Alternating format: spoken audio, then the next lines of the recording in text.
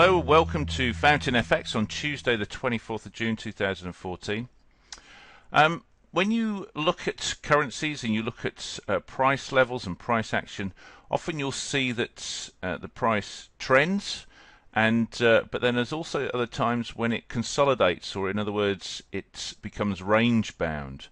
Now, in terms of the st statistics, they reckon that 30% of the time currencies are trending, as in they're moving up in a nice zigzag pattern, but creating higher highs and higher lows, or they're moving down in a zigzag pattern, creating lower highs and lower lows.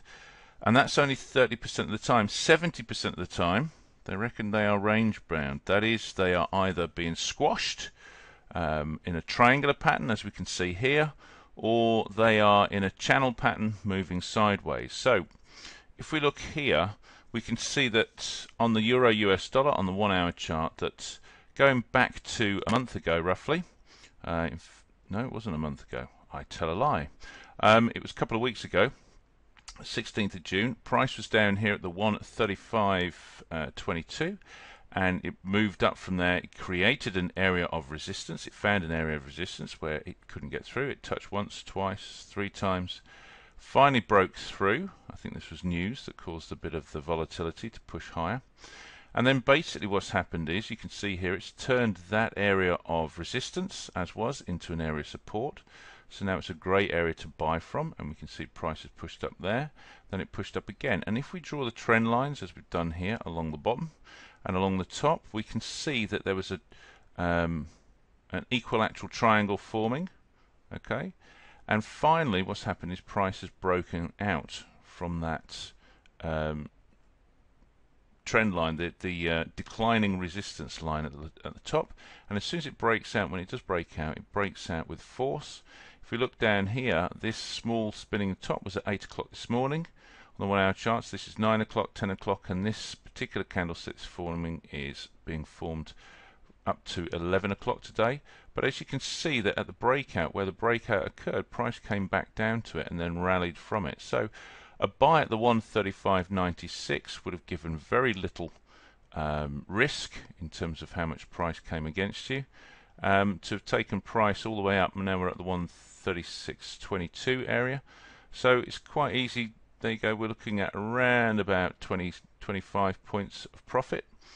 And um, so that's pretty good there in terms of that trade. But as you can see here, you can identify areas of support and areas of resistance. And I think that's probably the easiest way in which to trade and keep your trading simple is to look at use trend lines, use horizontal trend lines support and resistance, use the diagonal trend lines to show that uh, the lows are getting higher or the highs are getting lower, for example and therefore you can identify where the bigger picture or the bigger move in price is happening and not necessarily trying to get caught in the smaller moves and getting caught either side of the market.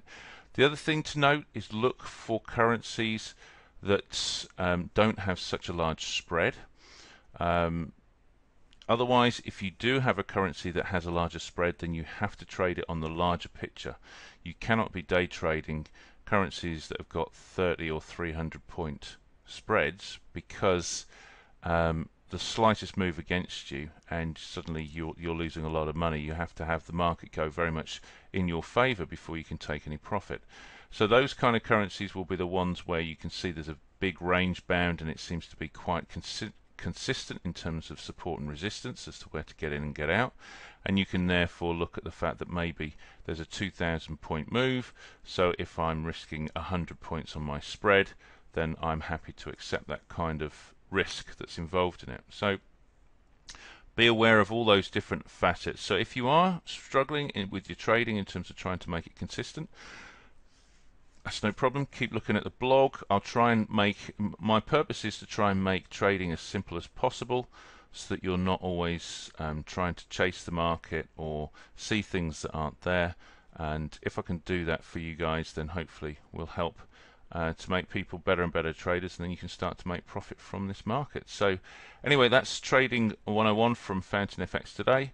Happy trading, and uh, we will be in touch tomorrow. Thank you very much. Bye bye.